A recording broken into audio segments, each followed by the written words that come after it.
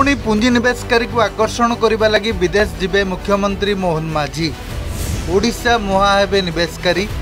ରାଜ୍ୟକୁ ଆସିବ ବିପୁଳ ଶିଳ୍ପ ଓ ପୁଞ୍ଜି। ନିବେଶକାରୀକୁ ଆକୃଷ୍ଟ କରିବା ପାଇଁ ଛଅ ଦିନିଆ ସିଙ୍ଗାପୁର ଗସ୍ତରେ ମୋହନ। ପୂର୍ବ ସରକାରରେ ମେକ୍ ଇନ୍ ଓଡ଼ିଶା ଥିଲା ଧୂଆଁ ବାଣ ବିଜେପି ସରକାର କ୍ଷମତାକୁ ଆସିବା ପରେ ଫେରିଛି ପୋସ୍କୋ।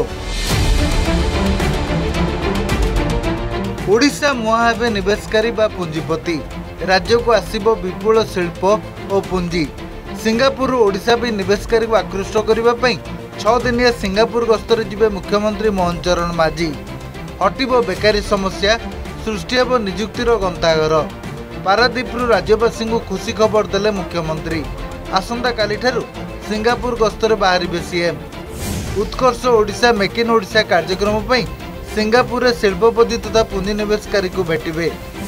ରାଜ୍ୟକୁ କେଉଁଭଳି ଶିଳ୍ପ ଓ ପୁଞ୍ଜିନିବେଶକାରୀ ଓଡ଼ିଶାରେ ବିନିଯୋଗ କରିବେ ସେ ନେଇ ହେବ ଆଲୋଚନା। ତା ସହ ସିଙ୍ଗାପୁରରେ କିଛି ଶିଳ୍ପ ଅଞ୍ଚଳ ପରିଦର୍ଶନ କରିପାରନ୍ତି ମୁଖ୍ୟମନ୍ତ୍ରୀ।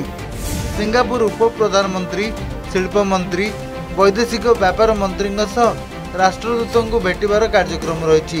ଏହି ଗସ୍ତ ସମୟରେ ମୁଖ୍ୟମନ୍ତ୍ରୀଙ୍କ ସହ ଶିଳ୍ପମନ୍ତ୍ରୀ ଓ ଅନ୍ୟାନ୍ୟ ମନ୍ତ୍ରୀଙ୍କ ସମେତ ବରିଷ୍ଠ ଅଧିକାରୀ ସାମିଲ ହେବେ। ଓଡ଼ିଶା ସରକାର ମଧ୍ୟ ନିଷ୍ପତ୍ତି ନେଇଛନ୍ତି ଆସନ୍ତାକାଲି ସକାଳୁ। ଆମେ ମଧ୍ୟ ସେଇ ଜାଭା ସୁମତ୍ରା ଇଣ୍ଡୋନେସିଆ ମାଲେସିଆ ଯେଉଁ ଦ୍ୱୀପକୁ ଯିବା ପାଇଁ ସେଇ ଦ୍ୱୀପମାନଙ୍କ ଭିତରୁ ଗୋଟିଏ ଦ୍ୱୀପ ସିଙ୍ଗାପୁରକୁ ଆମେ ମଧ୍ୟ ଯାତ୍ରା କରୁଛୁ। ସେଠି କିଭଳି ଭାବରେ ଆମର ଇନଭେଷ୍ଟମେଣ୍ଟ ଏବଂ ପୁଞ୍ଜି ଆମ ଏ ଓଡ଼ିଶାକୁ ଆସିବ ଏ ଅଞ୍ଚଳକୁ ଆସିବ ଏଇ ପାରାଦ୍ୱୀପକୁ ଆସିବ ପୁରୀକୁ ଆସିବ ଏ ଅଞ୍ଚଳକୁ ଆସିବ ସେଥିପାଇଁ ମଧ୍ୟ ଆମ ଓଡ଼ିଶା ସରକାରଙ୍କ ତରଫରୁ ମୁଁ ନିଜେ ଆମର ମାନ୍ୟବର ଶିଳ୍ପମନ୍ତ୍ରୀ ଏଠି ଅଛନ୍ତି ତାଙ୍କୁ ନେଇକରି ମୁଁ ଯାଉଛି। ସେଇଠି ମଧ୍ୟ ଆମେ ବେପାର ବାଣିଜ୍ୟ କରିବା ପାଇଁ ଆମେ ଯାଉଛୁ ପୁଞ୍ଜି ଆଣିବା ପାଇଁ ଏଇ ପାରାଦ୍ୱୀପକୁ ଆସିବ ଓଡ଼ିଶାକୁ ଆସିବ। ପୂର୍ବ ନବୀନ ସରକାରରେ ଶିଳ୍ପାୟନ ପାଲଟିଥିଲା ପ୍ରତାରଣା।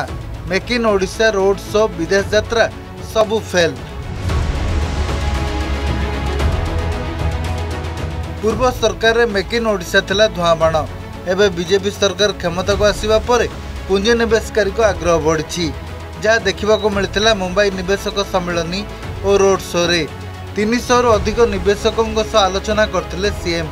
ନିକଟରେ ଦିଲ୍ଲୀରେ ନିବେଶକ ସମ୍ମିଳନୀରେ ଭାଗ ନେଇଥିଲେ ମୁଖ୍ୟମନ୍ତ୍ରୀ ମୋହନ ଚରଣ ମାଝୀ।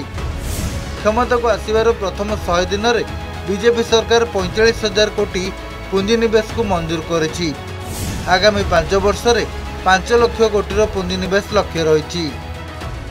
ବଡ଼ ଶିଳ୍ପ ଅନୁଷ୍ଠାନ ଯେଉଁଟା ବିଗତ ସରକାରରେ ଚୁକ୍ତିବଦ୍ଧ ହୋଇଥିଲେ ଆମ ସାଙ୍ଗରେ ଓଡ଼ିଶା ରାଜ୍ୟ ସରକାର ସାଙ୍ଗରେ ସେମାନେ ଆସ୍ତେ ଆସ୍ତେ ପଳେଇବାକୁ ବସିଲେଣି। ସେ ସଂକ୍ରାନ୍ତରେ ମାନ୍ୟବର ମୁଖ୍ୟମନ୍ତ୍ରୀ ଗୁରୁତ୍ୱ ସହ ବିଚାର କରିବା ଉଚିତ। ନବୀନଙ୍କ ଚବିଶ ବର୍ଷ ଶାସନ ସମୟରେ ରାଜ୍ୟରେ ବନ୍ଦ ହୋଇଯାଇଥିଲା ପଇଁତିରିଶଟି ବୃହତ ଶିଳ୍ପ।